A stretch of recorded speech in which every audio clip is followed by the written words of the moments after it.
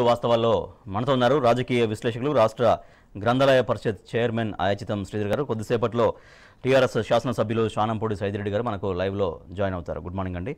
Yes Sridhar గారు మనం వార్త చూస్తున్నాం. కరోనా నియంత్రణలో ఆర్థిక పునరుజ్జీవనలో తెలంగాణ భేషిగా ఉంది. భారత ఆర్థిక సర్వే ప్రశంసల జల్లు కురిపించింది. దాంట్లో పేర్కొన్న అంశాలు ఏంటంటే సంక్షోభం నుంచి కోలుకున్న మొదటి రాష్ట్రం ఇదే. మొత్తం యావత్ ప్రపంచాన్ని కరోనా ఎంత అతలాకుతలం చేసిందో ఎంత సంక్షోభంలోకి నెట్టేసిందో మనం చూసాం. కానీ అటువంటి సంక్షోభం నుంచి కూడా తొందరగా కోలుకున్నటువంటి రాష్ట్రం తెలంగాణగా అలాగే సేవా రంగంలో అది అత్యధిక సంపద సృష్టించినట్టుగా రెవెన్యూ వసూలలో జూన్ నెలలోనే పూర్వస్థితికి చేరుకున్నట్టుగా ఇంకా అనేక అంశాలు పేర్కొంటూ ఏ రకంగా తెలంగాణ తిరిగి నిలబడగలిగిందనేది భారత ఆర్థిక సర్వేలో వెల్లడినటువంటి వాస్తవం. సో నిజంగా ఇది రాష్ట్రానికి ముందుకు పోతున్న రాష్ట్రానికి మరింత ఉత్సాహాన్ని ఎట్లా ఇస్తుంటుంది ఇటువంటి రిజల్ట్స్ అంటే ప్రధానంగా ముందు విమర్శకుల నోళ్ళు మూతపడతాయి ఎందుకంటే ఈ ఆర్థిక సర్వే చేసేది ఏదో రాష్ట్ర ప్రభుత్వ ఉద్యోగులు కాదు అధికారులు కాదు మంత్రులు కాదు. కేంద్ర ప్రభుత్వ అధీనంలో ఉండే ఒక వ్యవస్థ అన్ని రంగాల్లో సాధించిన అభివృద్ధి. ఇవన్నీ ఒక బేరీజు వేసుకుని ఆర్థిక సర్వేను ప్రకటిస్తుంది. మరి ఆర్థిక సర్వే కేంద్రం ప్రకటించిందే కాబట్టి కేంద్రమే ఒక సర్టిఫికెట్ ఇచ్చింది వాళ్ళు. తెలంగాణ అన్ని రంగాల్లో భీషుగా ఉంది. కారణం ఏమిటి అంటే మీరు చెప్పినట్టుగా ఈ కరోనా తాకిడికి ఈ అగ్రరాజ్యమైన అమెరికాని అతలాకుతలం అయిపోయింది. సంపన్న దేశాలైన యూరప్ దేశాలు. ఇవన్నీ కూడా అతలాకుతలమే ఇప్పటికీ తీరుకోలేని స్థితిలో ఉన్న ఈ తరుణంలో దాదాపు ఏడాది కావస్తుంది మనకు కరోనా మహమ్మారి బాధ అవును. ప్రపంచం అంతా కేవలం ఆర్థిక సర్వేలో చూస్తే మనకు అర్థమవుతుంది. జూన్ జూలై నాటికే మళ్ళీ మేలుకుంది తెలంగాణ. అంటే ఒక రెండు మూడు నెలలు అది కూడా లాక్డౌన్ చేయడం. ముందు జాగ్రత్త మీరు గమనించండి. ప్రధాని గారు ప్రకటించడానికి ఒకరోజు ముందే ముఖ్యమంత్రి గారు ప్రకటించారు లాక్డౌన్. కారణం ఏమిటి అంటే లాక్డౌన్ వల్ల రెండు ప్రయోజనాలు. కరోనా కట్టడి కరోనా అవేర్నెస్ కరోనా చైతన్యం అంటే కరోనా వస్తుంది. లాక్డౌన్ లేకుండా యథాతథంగా ఏదో పత్రికా ప్రకటనలు టీవీ ప్రకటనలు స్ట్రోలింగ్లు ఇస్తే సామాన్య ప్రజల దాకా వెళ్ళదు వ్యవహారం. లాక్డౌన్ వల్ల ఒక చర్చ జరుగుతుంది. ఇంత తీవ్రంగా ఎందుకు లాక్డౌన్ చేస్తుంది? గతంలో ఇప్పుడు లేదు. ఓహో కరోనా. దీన్ని మనం నియంత్రించాలి జాగ్రత్తగా ఉండాలని ఒక స్పృహ ప్రజలకు వస్తుంది. కాబట్టి అది తొందరగా మేల్కొని తెలంగాణ కట్టడి చేసింది. మరి ఆ కట్టడిలో కేవలం ప్రజలు సహకరించడమే కాకుండా మరి పోలీసులు కానీ వైద్య సిబ్బంది కానీ మనం చూసాం. కరోనా ఒక పీక్ స్టేజ్లో ఉన్నప్పుడు కూడా మరి మన మంత్రులు అధికారులు ఏకంగా దవాఖానాలోకి వెళ్ళి కరోనా రోగులను పరామర్శించి వాళ్ళకి ధైర్యం చెప్పి ఇదేం పెద్ద భయపడాల్సినంత కాదు జాగ్రత్తగా ఉండాలి. భయపడొద్దు అని చెప్పడం చాలా సత్ఫలితాలు ఇచ్చింది తెలంగాణలో. ఈటల రాజేందర్ గారు ఆరోగ్య శాఖ మంత్రిగా ఉన్నప్పుడు ఆయన ఒక సామాన్య వైద్య శాఖలో ఉండే కార్యకర్త ఎట్లా అయితే హాస్పిటల్స్కి వెళ్ళి పలకరిస్తారో. ఆయన అట్లా వెళ్ళి పలకరించాడు అట్లాగే ఏకంగా శ్రీనివాస్ గౌడ్ గారు. ఒక కరోనా మృతుని శవాన్ని మోసాడు ఆయన శ్మశానం దాకా. అంటే మంత్రులు అధికారులు సిబ్బంది వీళ్ళంతా ప్రజలు ఒక ధైర్యాన్ని కల్పించారు కాబట్టే రెండు మూడు నెలలకే మనం కోలుకొని మళ్ళీ యథావిధిగా మన ఆర్థిక కార్య కార్యకలాపాల్లో పడ్డాం. కాబట్టే ఇవాళ ఆర్థిక సర్వే తెలంగాణ భేషుగా ఉందని చెప్పేసి చెప్పి ఇది ఒక నమస్తే తెలంగాణ వార్తనే కాదు ప్రధాన వార్తలు అన్ని అన్ని పత్రికల్లో కూడా ప్ర- ప్రధాన వార్తగా వచ్చింది ఎస్ ఎస్ మ్మ్. కాబట్టి తెలంగాణలో ప్రభుత్వం ప్రభుత్వ విజయం ముఖ్యమంత్రి కేసీఆర్ గారి దిశానిర్దేశం ఎప్పటికప్పుడు చేయడం సమీక్షలు ఇవన్నీ కూడా మరి తెలంగాణ వాళ్ళ ముందుంది అని ఆర్థిక సర్వే చెప్పడం అనేది తెలంగాణ వాదులుగా అందరం గర్వించాలి. ప్రత్యేకించి ఇక్కడి ప్రభుత్వం మీద ఇక్కడి పథకాల మీద ఏమైతే విమర్శలు చేస్తున్నారో వాళ్ళంతా ఒక్కసారి దీన్ని చూసి బుద్ధి తెచ్చుకోవాలి. రైట్ ప్రస్తుతం మనతో హుజూర్ నగర్ శాసన సభ్యులు శానంపూడి సైదిరెడ్డి గారు లైవ్లో జాయిన్ అవుతున్నారు. శానంపూడి సైదిరెడ్డి గారు నమస్తే అండి. నమస్తే అండి. ఎస్ సైదిరెడ్డి గారు మొత్తం యావత్ ప్రపంచం మొత్తం ఆర్థిక సంక్షోభంలో మునిగిపోయింది కరోనా సమయంలో. భారతదేశం ఎంత ఆర్థిక సంక్షోభంలో కూరుకుపోయిందో ఆ ఎఫెక్ట్ రాష్ట్రంపై ఎంత పడిందో మనం చూసాం అయినప్పటికీ కూడా రాష్ట్ర ప్రభుత్వ ప్రణాళికతో ముఖ్యమంత్రి గారి ఆలోచన విధానంతో వెంటనే మళ్ళీ రికవర్ కావడం జరిగింది. మళ్ళీ కరోనా సంక్షోభం నుంచి చాలా వేగంగా కోలుకున్న రాష్ట్రంగా నిలిచింది. స్వయంగా భారత ఆర్థిక సర్వేలో ఈ అంశం పేర్కొనబడింది. దాంతోపాటుగా మక్కలు పత్తి ఉత్పత్తిలో దేశంలోనే టాప్ త్రీ స్థానంలో ఉంది. చదువుకుంటున్న వారి సంఖ్యలో టాప్ ఫైవ్లో ఉంది. కరోనా వైరస్ మరణాల కట్టడిలో దేశంలోనే రెండవ స్థానంలో రాష్ట్రం ఉంది. సో ఇవన్నీ భారత ఆర్థిక సర్వేలో పేర్కొన్నటువంటి ఈ అంశాలని చూస్తుంటే ఏమనిపిస్తోంది? ఇప్పుడు శ్రీధర్ గారు చెప్పినట్టు ఇది నిజంగా లీడర్షిప్ విజయం మన కేసీఆర్ గారి విజయం. ఎందుకంటే మనం చూసినాం ఆ రోజు కేసీఆర్ గారు టీవీలోకి వస్తున్నారు ప్రెస్ మీట్లోకి వస్తున్నారంటే మొత్తం యావత్ తెలంగాణ ప్రస్తుత మొత్తం టీవీల ముందుకు వచ్చింది ఒక తెలంగాణ కాదు బయట ఉన్న తెలుగు వాళ్ళందరూ కూడా కేసీఆర్ గారు ఏం చెప్తారు? అంటే ఆయన మాట మీద ఉన్న నమ్మకం ఆయన మీద ఉన్న నమ్మకం ఈరోజు ఆ నమ్మకమే మళ్ళా గెలిపించింది మనల్ని. ఎట్లా అంటే ఏ రోజు ఒక్కడితో తెలంగాణ వస్తుందా అనుకుంటారు ఆ రోజు. ఆ నమ్మకమే అయింది. అంటే పాజిటివ్ థింకింగ్. ఆ నమ్మకంతో ఒక్కడు తెలంగాణ ఒక్కరితో తెలంగాణ తీసుకురాగలిగింది ఒక్కడు మొదలుపెట్టి. ఆ వచ్చిన తెలంగాణ బంగారు తెలంగాణ చేయాలనేది మనం ఫస్ట్ నుంచి అనుకునేది సార్ అనుకునేది. ఆ తెలంగాణ వచ్చిన తెలంగాణ బంగారు తెలంగాణ కావటానికి సంవత్సరంలోనే చేంజెస్ చూసినాం మనం. మీకు కరెంటే రాదన్న కరెంటుని ఇరవై నాలుగు గంటల కరెంటు తీసుకొచ్చినాం. మీకు వ్యవసాయం అంటే అసలు నీళ్ళే రావనుకున్న వ్యవసాయాన్ని ఏడు సంవత్సరాల నుంచి ఏడు ఎనిమిది సంవత్సరాల నుంచి ఒక్క రోజు కూడా ఒక తడికి కూడా నిన్ననే మేము రోడ్డు ఇక్కడ హుజూర్నగర్ ఉన్న నేను హుజూర్నగర్లో రోడ్డు మీద పోతా ఉంటే ఒక తండకు పోయినాం. తండలో నీళ్ళు వస్తా ఉన్నాయి. వాళ్ళు అంటా ఉన్నారు. ఈ టైంలో ఇంతవరకు ఎప్పుడు మేము నీళ్ళు చూడలే ఈ కాలువలల్లా. ఈ రోజు ఈ నీళ్ళు వస్తా ఉన్నాయి. ఇప్పుడు మేము నీళ్ళు బంద్ చేయమని వారం నుంచి బతిలాడుతున్నాం. ఇంకా చాలు మాకు వాటర్ కొద్ది రోజులు ఆపండి అని చెప్తున్నాం అంటున్నారు. అంటే తెలంగాణ సాధించిన విజయాలకి ఇవన్నీ ఒక ఉదాహరణ. ఇంత గొప్ప విజయం ఈరోజు మనది ఒకటే. మన రాష్ట్రం బాగుపడాలా? రాష్ట్రం ద్వారా దేశం బాగుపడాలా? మనం దేశానికి ఒక వెన్నెముక ఉండాలనేదే సారు ప్రయత్నం. దానికి తగ్గట్టే ఆయన ఆలోచనలు కూడా ఎప్పటికప్పుడు ఈ రోజు వ్యవసాయం మీద ప్రశ్నించేటోళ్ళు లేరు. కేంద్రంలో మన కేసీఆర్ గారు లాంటి సమర్థమైన నాయకత్వం కేంద్రంలో ఉంటే ఈ రోజు ఈ ఈ రైతుల సమస్యలే ఉండేవి కావు. ప్రతి దాన్ని కూడా అంటే సూక్ష్మంగా అనలైజ్ చేసి ప్రతి దాని మీద పట్టున్న ముఖ్యమంత్రి ఈ రోజు కేసీఆర్ గారు. ఏ విషయం గురించి అయినా మీరు ఈ రాష్ట్రమే కాదు దేశంలో ప్రతి సమస్య గురించి తెలిసిన నాయకుడు కాబట్టే ఈ రోజు ఈ విజయాలు సాధించడం. ఇది ఒకటే కాదు. ఈ రోజు మొత్తం ఐటీ కూడా ఐటీలో మీరు చూసినాం మనం పోయినసారి చెప్పుకున్నాం. ఎనిమిది శాతం ఓవరాల్గా కంట్రీ అభివృద్ధి ఉంటే ఐటీ ఐటీ ఆధారిత దాంట్లో ఎయిటీన్ పర్సెంట్ ఈ రోజు మనం వచ్చినాం. దానికి తగ్గట్టు మీరు చెప్పిర్రు చదువుకున్న వాళ్ళలో బిలో ఫైవ్ నెంబర్స్లో ఉన్నామని. ఈ రోజు అన్నిటినీ కూడా ఈ రోజు వాటన్నిటికీ జాబుల క్రియేషన్ కానీ పద్నాలుగు లక్షల జాబులు అంటే మాటల గత ఆరు ఏడు సంవత్సరాలలో ఈ క్రియేషన్లో అంటే మన కేటీఆర్ గారి సమర్థ నాయకత్వం ఆయనకున్న విజన్ ఈ వీ- దీని అందరి వల్ల మనకు సమృద్ధి వనరులు ఉన్నాయి. ఆ వనరులు ఉపయోగించే అవకాశాలు ఉన్నాయి దానికి తగ్గట్టు పోలీసింగ్ కూడా. అంటే నీకు ఒక టౌన్ ఒక సిటీలో ఏదన్నా ఫారిన్ కంపెనీస్ రావాలన్నా ఏ చేయాలన్నా అన్ని రకాలుగా ముడిపడి ఉంటాయి. ఏది సెక్యూరిటీ బాగుందా ట్రాన్స్పోర్ట్ బాగుందా హౌసింగ్ బాగుందా నీకు రోడ్స్ బాగున్నాయా? వీటన్ని ప్లస్ వాటి తగ్గట్టు పనిచేసే ఎంప్లాయబిలిటీ స్కిల్స్ ఉన్న లేబర్ ఉందా లేదా? వీటన్నిటిని చూసే మనకి ఏదన్నా వస్తాయి ముందు ప్రాజెక్ట్ రావాలంటే. అంటే అవన్నీ తీసుకురావడానికి కావాల్సిన అవకాశాలన్నీ కల్పించినాం ఈ రోజు హైదరాబాద్లో దానివల్ల ఖచ్చితంగా ఈ తెలంగాణ రోల్ మోడల్ అవుతుంది మొత్తం దేశానికి. రోల్ మోడల్ అయింది కూడా ఇప్పుడు. కరోనాలో ఇంత ఫాస్ట్గా రివైవ్ అయిపోయి ఇంత ఫాస్ట్గా మన బ్యాక్ టు స్టేజ్కి వచ్చినామంటే ఇది మనం దేశం మొత్తానికి ఆదర్శం.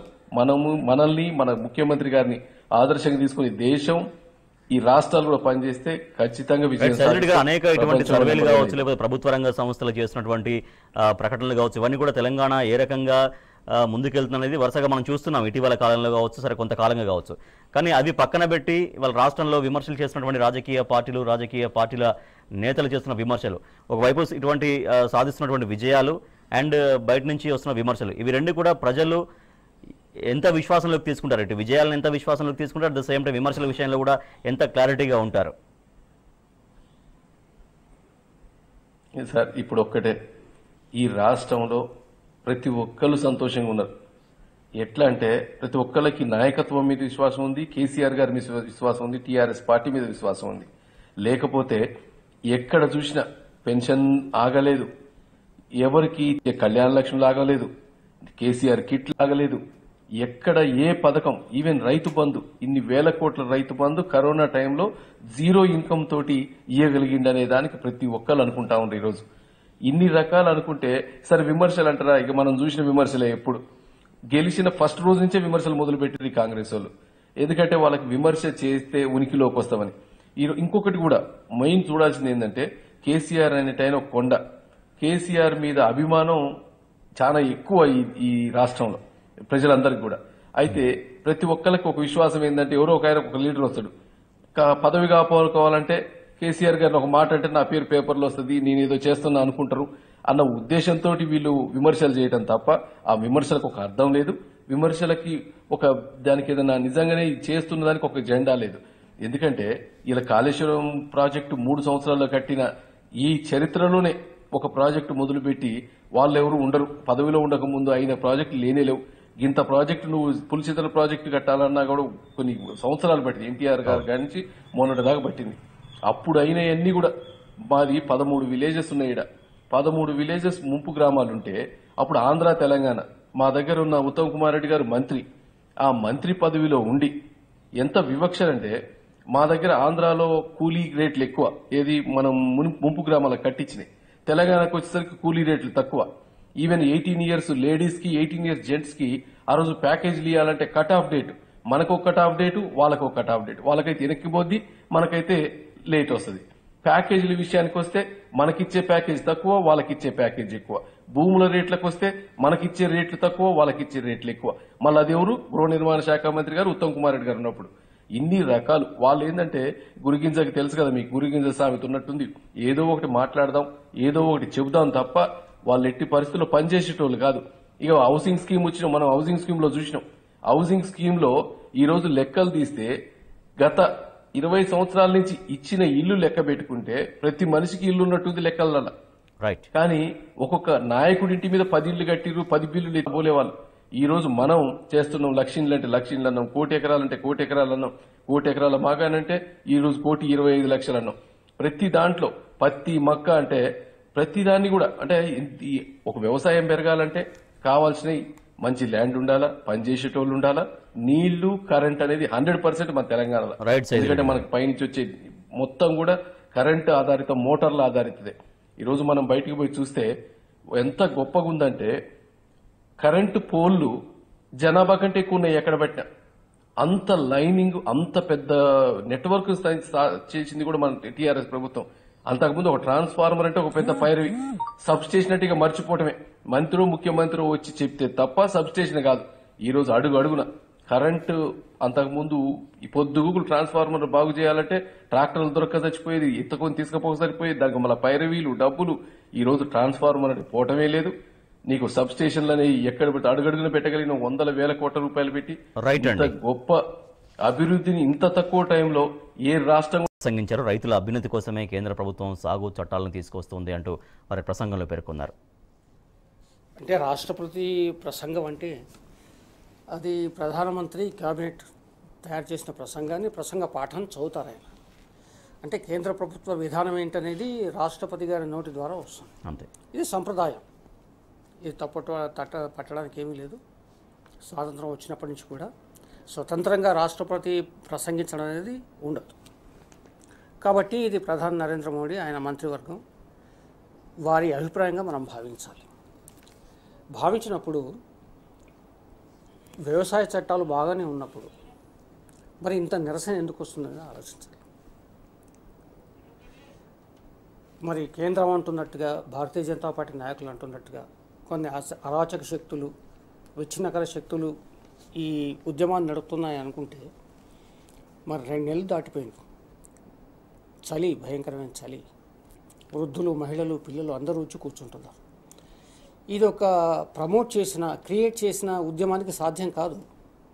రైతులు అనుకుంటే తప్ప రైతులు వీధిలోకి రావాలనుకుంటే తప్ప అదొకటి. మంచి చట్టాలు తెస్తే రైతులు ఆహ్వానిస్తారు.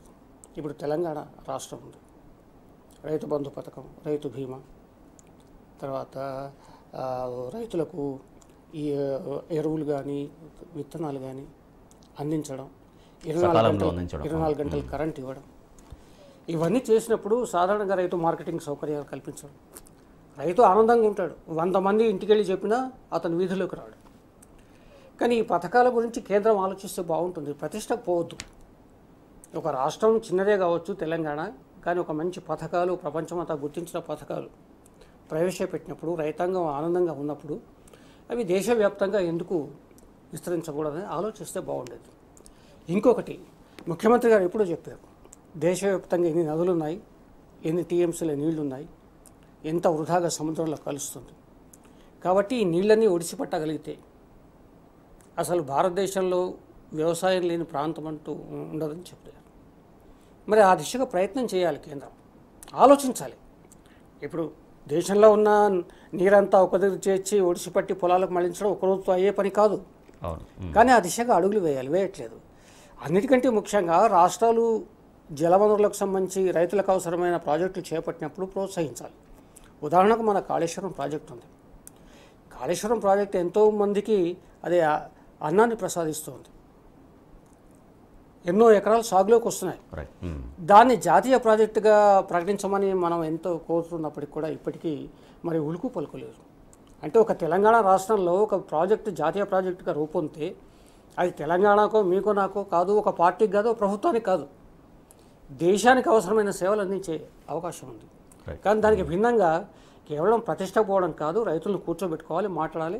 మనం చూస్తున్న వార్తలు మళ్ళీ రైతులంతా జాట్ రైతులంతా నిన్న ఆ రాకేష్ టికాయత్ కంట కంట నీరు పెట్టడంతో మళ్ళా వేలాదిగా లక్షలాదిగా వచ్చారని చెప్తున్నారు ఏదేమైనా కానీ కేంద్రం ప్రతిష్ట పోకుండా పట్టుదలకు పోకుండా రైతులను పిలిచి ఒక సామరస్యయోగ్యమైన మిగతా ముఖ్యమంత్రులతో మాట్లాడి రైట్ ఉమ్. ఒక పరిష్కారం కనుక్కుంటే తప్ప ఈ సంక్షోభం పోయే అవకాశం లేదు. రైట్ సైజ్ రెడ్డి గారు దాదాపుగా రెండు నెల రెండు నెలలకు పైగా రైతులు తమ ఆందోళన కొనసాగిస్తున్నారు. సరే కొంతవరకు అక్కడక్కడ కొన్ని ఉద్రిక్త పరిస్థితులు నెలకొంటున్నాయి. సో దాని పట్ల కూడా రాష్ట్రపతి గారు నిన్న పార్లమెంట్లో మాట్లాడారు. త్రివర్ణ పతాకానికి అవమానం జరిగింది అంటూ మొన్న జరిగినటువంటి ఇష్యూ నేపథ్యంలో దానికి సంబంధించి కూడా వారి ప్రసంగంలో అంశం కూడా పొందుపరచబడి ఉంది. సో దాంతోపాటుగా శ్రీధర్ గారు చెప్తున్నట్టుగా మన రాష్ట్రంలో ఏవైతే వ్యవసాయం సంబంధించినటువంటి విధానాలు అవలంబిస్తున్నారో అటువంటి విధానాలు కనుక రైతాంగానికి శ్రేయస్సు కోసం కాంక్షిస్తే ప్రవేశపెడితే అది పెద్దగా వ్యతిరేకత వచ్చే పరిస్థితి ఉండదు. కాకపోతే రైతులు ఈ రకంగా వ్యతిరేకిస్తున్నందువల్ల కేంద్రం ఖచ్చితంగా పునరాలోచించాలి.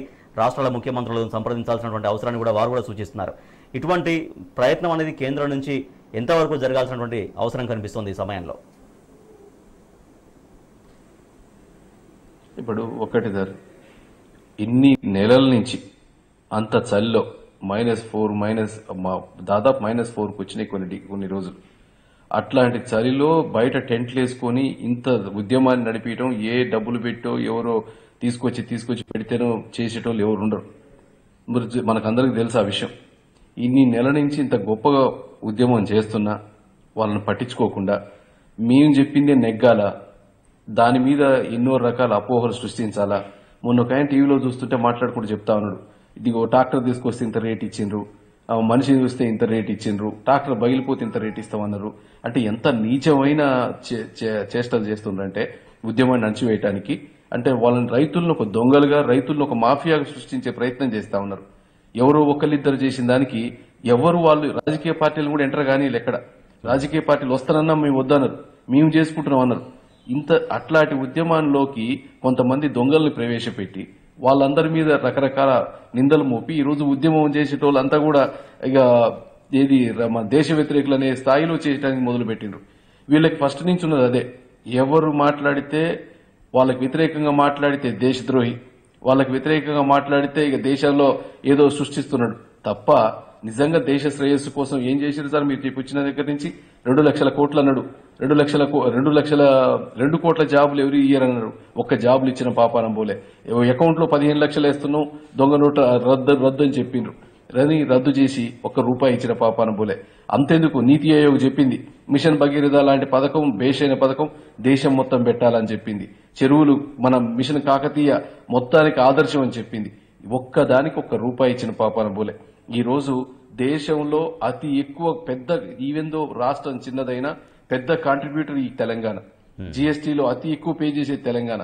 మనకు వచ్చే డబ్బుల్లో ఫిఫ్టీ పర్సెంట్ మనకు వచ్చే డబ్బులు కూడా ఇచ్చే పరిస్థితి లేదు.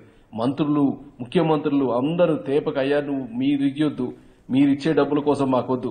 సరే నువ్వు ఇస్తానన్న ఇరవై లక్షల కోట్లు నువ్వు ఇస్తానన్న మనీ ఇవ్వకపోయినా మాకు పర్వాలేదు కానీ అట్లీస్ట్ మాకు రావాల్సిన వాటా మా జీఎస్టీలను మాకు పే చేయమంటే పే చేసే పరిస్థితి లేదు. ఈ రా ఈ దేశం. ఎంతసేపటికి జనాలని మోసం చేసటం వాళ్ళని ఎంతసేపటికి మన మైండ్ గేమ్ ఆడటం వాళ్ళని ఎవరన్నా మాట్లాడితే దేశద్రోహిని ముద్రేయటం తప్ప లేదా ఇక ఈడీలు ఈఎస్లు ఇన్కమ్ ట్యాక్స్ రైడ్లు ఇంకా ఇది తప్ప ఎంతసేపటికి వాళ్ళ కాన్సన్ట్రేషన్ అంతా ఈ అధికారంలో ఎట్లుండాలా ఎవరెవరిని చేయాలా తప్ప ఈ దేశానికి ఏం చేస్తాం? మీరు చెప్పండి ఒక్కసారి. ఈ దేశంలోకి బీజేపీ అధికారంలోకి వచ్చినాక ఏదన్నా ఒకటి చెప్పుకోదగ్గ పథకం ఉందా ఈ రోజు టీఆర్ఎస్ చేసినట్టు కాకుండా? నువ్వు ఏ ఏదైనా నేను ఈ దేశం కోసం చేసిన చెప్పేది మనం అదే ఒక మారుమూల పోయి ఊర్లో అడిగినా కానీ వంద పథకాలు చెప్తారు ఈరోజు ఇక్కడ లేమెన్ కూడా. ఇట్లాంటివన్నీ కాకుండా ఎంతసేపుకి ఏముంది సార్? ఓకే ప్రతి దానికి పెట్టేందుకు మీరు రైతు చట్టాలు చేసిండ్రు రైతులందరూ వద్దంటున్నారు వేరే సం- నెలల కొద్దీ స్ట్రైక్ చేస్తున్నారు ఎనికి తగ్గొచ్చు కదా? తగ్గి సరే మళ్ళీ అందరం కూర్చొని మాట్లాడదాం మనం దీన్ని బ్యాక్ పెడదాం మళ్ళీ అందరికి నచ్చే చట్టాలు తెద్దాం అనొచ్చుగా? అంటే ఎంతసేపటికి నిన్న ఒక మామూలు పర్సన్ అంటా ఉన్నాడు ఏది రైతు నాతోటి. అన్న ఇప్పుడు మనం వ్యవసాయం చేసేటప్పటి నుంచి ఆ వెయ్యి పన్నెండు వందలు పద్నాలుగు వందలు రైస్ ఏమో అట్లే ఉంది రేటు. మహా అంటే గ్యారంటీడ్ ప్రైస్ పద్దెనిమిది వందలు అన్నారు. పెట్రోల్ ఏమో ఇరవై రూపాయల నుంచి డీజిల్ తొంభై ఒక్క రూపాయికి పోయింది ఈ రోజు అంటే నాలుగు రెట్లు డీజిల్. ఇలా ట్రాక్టర్ నడపాలంటే డీజిల్ కావాలా? ప్రతి దానికి డీజిల్ పెట్రోల్ కావాలా రైతుకు కూడా. అట్లాంటిదేమో ఐదు రెట్లు పెంచినావు. నువ్వు రైస్ ప్రైస్ ఏమో లేదు. మిగతా అన్ని పెరిగినాయి. ప్రతి ప్రైస్ పెరిగింది. ఈరోజు ప్యాడీకి గ్యారంటీడ్ ధర అంటే ఆ ఉన్న గ్యారంటీడ్ మద్దతు ధరని తీసేసే పరిస్థితులు వచ్చినాయి ఈరోజు రోజు. ఏమనంటే మీరు విదేశాలకు అది ఎగుమతి చేస్తారు కానీ రేట్లు పెరుగుతాయి అంటారు ఎవరు సార్ విదేశాలకు ఎగుమతి చేయనిచ్చేది? చిన్నది. మొన్న కేసీఆర్ గారు కొనేటప్పుడు రెండు రోజులు లేట్ అయిందంటే రెండు రోజులకే వాళ్ళు ఎమ్మటే రైతులు మొత్తాన్ని ఒక రకంగా చేసేసారు. ఇంకా కొనరు కొనేటట్టు లేవు విపరీతంగా వచ్చేసిందంటే మద్దతు ధర కంటే తక్కువ భయానికి అమ్మే పరిస్థితులు క్రియేట్ చేసారు. పద్దెనిమిది వందలు ఉంటే పద్నాలుగు వందలు పదిహేను వందలు తీసుకుపోయి రైస్ మిల్లుల కాడ పోసే పరిస్థితి చేశారు. అట్లాంటిది ఎవరు ఆలోచిస్తారంటే రేపు మద్దతు ధర అనేది లేకపోతే నువ్వు మద్దతు ధర తీసేస్తావు. గోడౌన్లు అనేది పెట్టుకుని ఎక్కడికక్కడ స్టాక్ చేసుకోవచ్చు అంటావు. అంటే ఎంతసేపటికి ఆ స్టాక్ చేపించి ఎవరు చేసినా ఎగుమతి చేయాలంటే ఒక సాధారణ రైతు ఎగుమతి చేస్తారు? రైతు ఈ రోజు చేసే పరిస్థితి ఉందా ఈ దేశంలో? అంటే ఎవరు చేయాలి. కార్పొరేట్లు చేయాలి. ప్రతి ఒక్క దాన్ని ఈ రోజు గుజరాత్ గుజరాత్ కంపెనీ కట్టబెట్టింది దేశాన్ని. రైట్ ఈస్ట్ ఇండియా కంపెనీ ఎంత ప్రమాదకారు ఈ గుజరాత్ కంపెనీ ఎంత ప్రమాద